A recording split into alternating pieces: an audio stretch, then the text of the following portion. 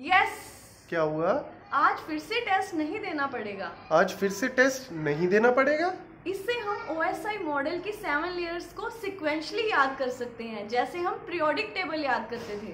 अच्छा आज फिर से एप्लीकेशन प्रेजेंटेशन सेशन टेस्ट से ट्रांसपोर्ट नहीं देना पड़ेगा। Network data link layer and physical layer ऐसे ही अमेजिंग वीडियो हमारी वीडियो को शेयर करें लाइक करें कमेंट करके बताएँ आपको ये वीडियो कैसी लगी।